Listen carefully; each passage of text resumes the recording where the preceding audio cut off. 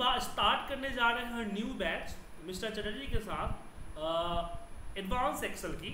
हमने इससे पहले क्लासेस में हमने आपको इंट्रोड्यूस किया था कि आखिर एक्सेल का इस्तेमाल हम क्यों करते हैं कहाँ कहाँ करते हैं और कैसे करते हैं।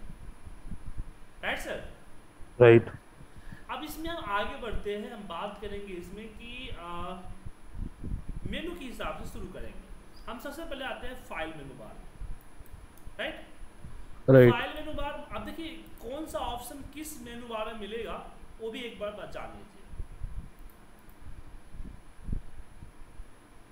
जैसे कि आपके पास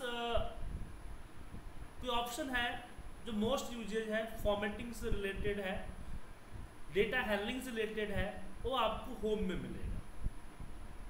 अगर कोई चीज़ इंसर्ट करना चाहते चाहे पिक्चर हो या चार्ट हो या पीवर्ड हो इंसर्ट वर्ड जहाँ पे आता है वो टॉपिक आपको इंसर्ट में मिलेगा। पेज की जो सेटिंग है पेज की जो सेटिंग है वो पेज से रिलेटेड जो सेटिंग है, वो आपको पेज लेआउट के अंदर मिलेगा। और obviously formula formula menu bar मिलेगा। डेटा से रिलेटेड कोई टूल्स है, जैसे कि डेटा वेलिडेशन हो गया टेक्स्ट टू कॉलन हो गया एनालिसिस हो गया कनेक्टिविटी हो गई, ये सब डेटा से रिलेटेड चीज़ें हैं, वो आपको कहाँ मिलेगा? Data menu bar review proofing से रिलेटेड जो चीज़ें हैं जैसे कि स्पेलिंग चेक करना रिसर्चेस करना कमेंट डालना ये चीज़ें आपको रिव्यू में मिलेगा। और जो विंडोज़ की व्यू से रिलेटेड है वो आपको व्यू मेनू बार में मिलेगा। अब ऐसा हम आ, आप तो वर्किंग है आपको तो की ज़रूरत नहीं है लेकिन ऐसा इसलिए हम बताते हैं कि जो न्यू स्टूडेंट होते हैं जिनको इंटरव्यू वगैरह करेक्ट करना होता है हम्म, तो उनके लिए मैटर करता है। जैसे कि अगर आप इंटरव्यू में बैठे हैं उसने पूछा कि यार तुम डेटा वैलिडेशन लगा के बताओ। अब डेटा वैलिडेशन के लिए आपका कर्सर डेटा में वैलिडेशन पे जाना चाहिए। हम्म, लेकिन आपने इंसर्ट में क्लिक करके ढूंढा पेज लेआउट में क्लिक करके ढूंढा तो सामने वाला पर्सन समझ जाता है कि he has no experience with the Excel समझे? राइट और मेरे जैसा कुछ होगा तो बोलेगा ठीक है ठीक है रहने दो समझिए समझिए ऐसे बोल देगा। इसलिए ये बहुत मैटर करता है कि आपको पता होना चाहिए कि कौन सा ऑप्शन किस मेनू बार में है।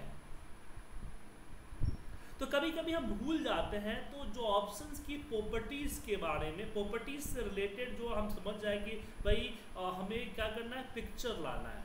तो पिक्चर इंसर्ट करना है। इसका मतलब वो इंसर्ट में होगा। तो अगर मैंने बता दिया कि इंसर्ट में अगर कमांड जाता है, भले ही हम पिवट पे कर्सर रख दे तो भी समझ जाता है कि हाँ उसको पता है कि पिक्चर इंसर्ट में है। बात समझ रहे हैं सर तो ये छोटी छोटी चीज़ें मैटर करती हैं जब हमारे स्टूडेंट इंटरव्यू देने जाते हैं। लेकिन आप तो वर्किंग है, आपको इसकी ज़रूरत नहीं है, लेकिन आपको ज़रूरत कब पड़ेगी? जब आप किसी का इंटरव्यू लेंगे। अगर हम्म। किसी का इंटरव्यू आप लेते हैं एक्सेल पे और आपने बोला कि चलो भाई एक काम करो मुझे फ्रीज पेंस करके दिखाओ। तो फ्रीज पेंस जो किससे रिलेटेड है? व्यू से रिलेटेड है। तो व्यू मेनू बार में होगा।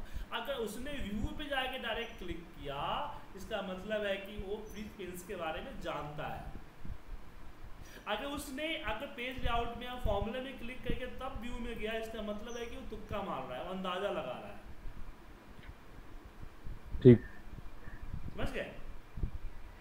हाँ। उसी तरह से फॉर्मूला में भी होता है कि अगर हमने जैसे फॉर्मूला में हम लोग जैसे लगा के नहीं पूछते हम सीधे पूछते हैं यार विलुकअप लगाने आता है। हाँ विलुकअप का साइंटेक्स बताओ। साइंटेक्स मतलब इनपुट तो अगर उसने बोला कि lookup value tab add column index number and lookup range इसका मतलब है कि वो विलुकअप कई बार लगा रखा है तभी इसको इसने जानता है।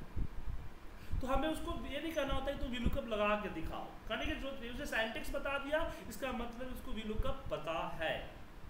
भले ही वो एक्सपर्ट ना हो but he knows the VLOOKUP तो इसलिए ये हम्म। मैटर करता है। तो आप जब किसी का इंटरव्यू ले तो आप इन चीज़ों को भी गौर कीजिएगा। ठीक है। ठीक ठीक।